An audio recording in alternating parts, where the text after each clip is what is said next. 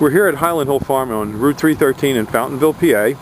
I'm Bill Hurst doing the photography. I own the uh, Highland Hill Farm. And this is Mike Lewis of Lewis Wholesale Nursery. Mike is one of the premier growers that we use here at Highland Hill Farm. We also grow a lot of arborvitaes, but we, we uh, are supplied by Mike. He's right across the street from our nursery and our, our operation. And Mike is, is an expert on raising arborvitaes. Mike went and graduated from the Longwood School in uh, uh, Chester County, Pennsylvania. And he's a, a premier grower in Pennsylvania, world-renowned grower. I shouldn't say that, but that is the truth.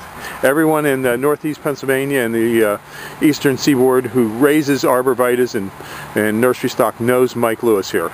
So he's well known. And he's going to talk to you today about arborvitae trimming and how to trim them properly. And these are small arborvitaes, a Zebrina, green giant, and an emerald green. Okay, Mike. All right, what you want to do with your arborvitae is when you prune them, you want to encourage them to have a single stem. Just one stem coming up out of the middle, like right here. What you want to do is knock back some of these extra stems. Here in the Northeast, we get a lot of wet, heavy snow, and if you have too many stems, they have a tendency to pull apart. Most of the time, they'll spring back, but sometimes you might get some breakage. So what we like to do is take the hedge shears and knock these tips back just a little bit which will encourage a fuller, fatter plant as well as keeping it up into a single stem. In school we were always taught, when in doubt, cut it out.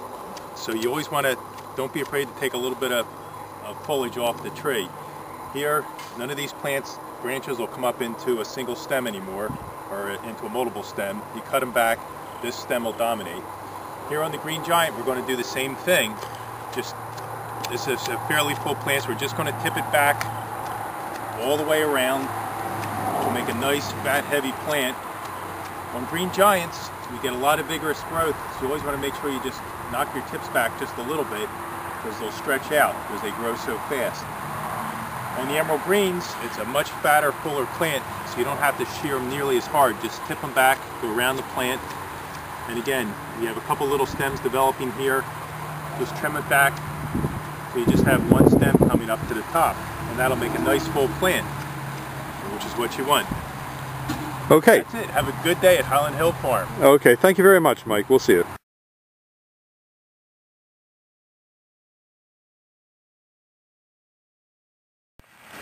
We're at Highland Hill Farm and this is Marge Hurst. I'm Bill Hurst. We're going to talk to you today a little bit about the proper spacing for the emerald green arborvitae when you're planting them. First of all, we have a tape measure here, string, some stakes, and some flags in order to do this job.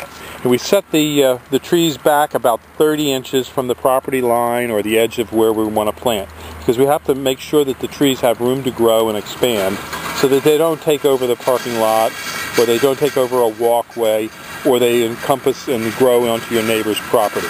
So now what Marge is going to do, she's going to show you how we reset the tape and start the, the layout where we're going to plant. She's going to set the tape at 36 inches because that's what we recommend as the best spacing for this tree. At 36 inches they will form a wall and be dense and full in no time at all. Okay, she sets the first one down and puts a flag in place. And she sets the next one down and puts the flag in place.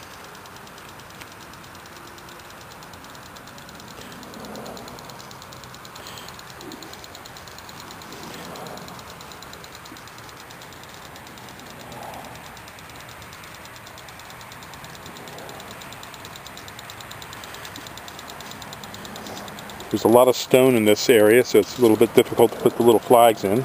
You don't have to use a flag. You can use paint if you want to use paint.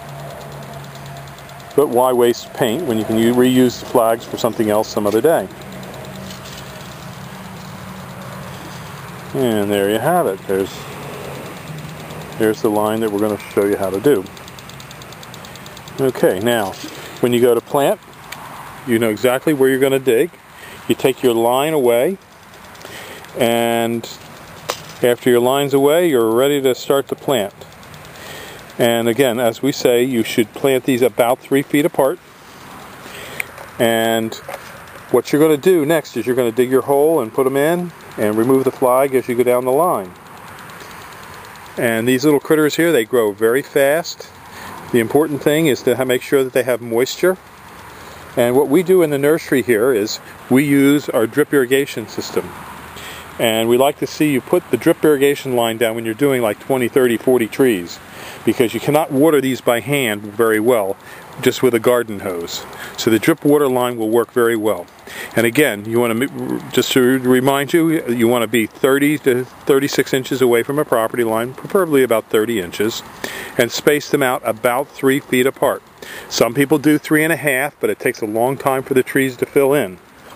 And if the trees are touching, like right you see here, there'll be branch dieback. So the idea is not to start them off touching. You want to have a little space and a gap in between each tree. And again, you can see when you get all done, your trees will be a nice straight line.